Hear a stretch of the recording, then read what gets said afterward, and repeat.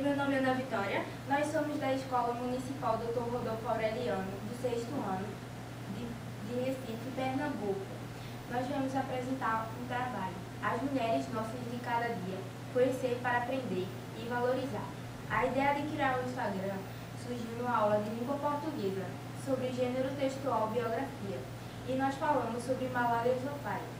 Vimos que o nosso conhecimento era pouco, então decidimos pesquisar mais sobre ela e também sobre outras mulheres, como Dandara do Palmar, Artemisa Gentileschi e outras. Sentimos que o nosso trabalho ficou muito pequeno entre as paredes da sala de aula, então decidimos levar para o mundo maior, através da internet.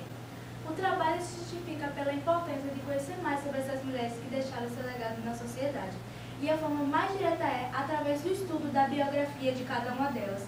No mundo onde a rede social é uma das principais redes de informações, optamos por selecionar para propagar as contribuições mais importantes de cada uma delas.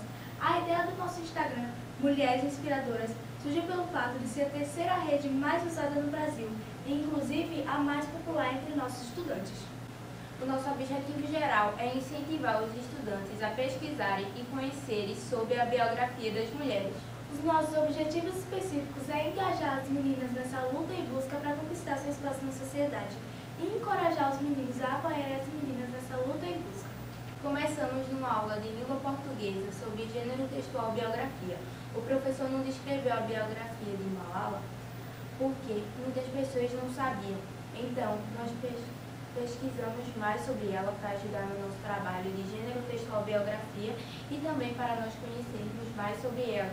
Depois, o nosso orientador nos deu um diário de bordo para nós anotarmos as biografias delas e nós tivemos a ideia de começar pelas primeiras profissões e pesquisamos sobre Dandara, Cruz de Celeste e várias outras.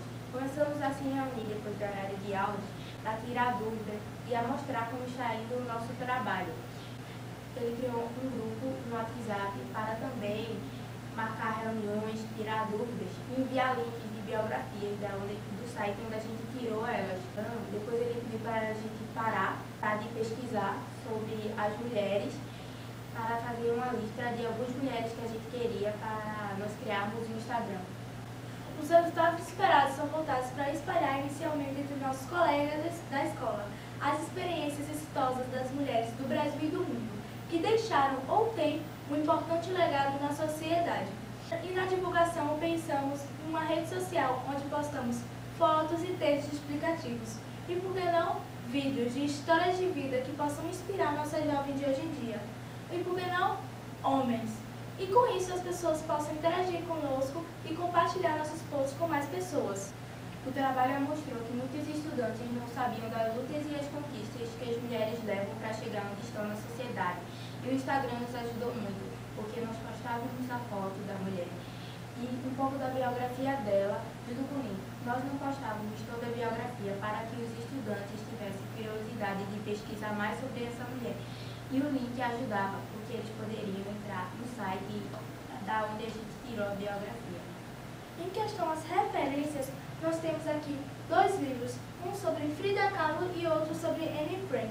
E também criamos um livro de 10 mulheres e está aqui a biografia de cada uma delas. Todas elas já estão no nosso Instagram, mulheres.inspiradoras 2022. Nós agradecemos para todos que assistiram o nosso vídeo e também agradecemos para o nosso orientador Pedro e orientadora Carmen.